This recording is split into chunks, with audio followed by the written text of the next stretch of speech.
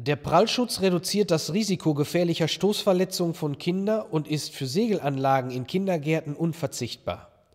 Er ist einfach zu montieren, robust und witterungsbeständig, aus temperaturbeständigem PVC gefertigt und mit einer dicken Schicht PU-Schaum gefüllt. Prallschutz für Sonnensegelmasten. Mehr Sicherheit in Kindergärten.